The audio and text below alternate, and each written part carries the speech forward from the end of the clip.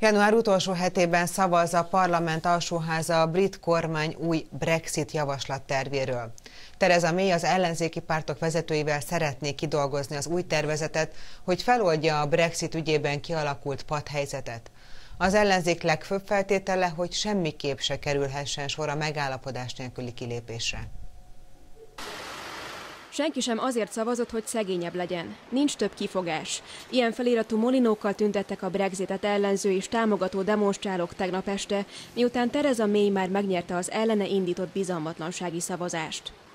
Uh, Senkire nem hallgat a 2016-os népszavazás óta, amióta megválasztották miniszterelnöknek. Semmibe veszi azt a 48%-ot, akik a maradás mellett voksoltak.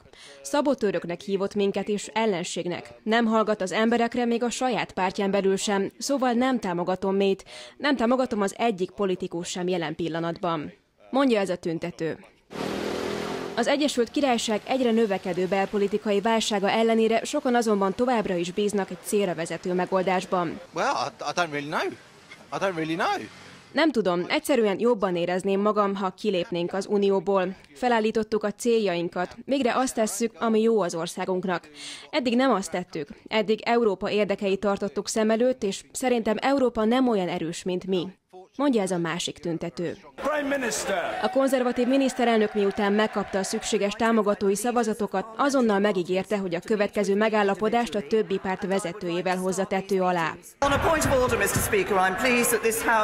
Örömmel tölt el, hogy a parlament bizalmat szavazott kormányunknak ma este. Komolyan veszem ezt a felelősséget, és a kormány folytatni fogja munkáját, hogy megnöveljük jólétünket, biztonságot nyújtsunk és megerősítsük szövetségünket. Folytatni fogom a munkát, hogy beteljesítsük teljesítsem az embereknek tett ígéretet, miszerint elhagyjuk az Európai Uniót, mondta May az eredmények kihirdetése után. A Jeremy Corbyn vezette munkáspárt legfőbb feltétele, hogy az Egyesült Királyság semmiképpen se lépjen ki az Európai Unióból megállapodás nélkül. A következő szavazás időpontja január 29-én, vagyis a tervezett kilépés előtt két hónappal lesz. Mének azonban már hétfőn elő kell állnia az új javaslattal.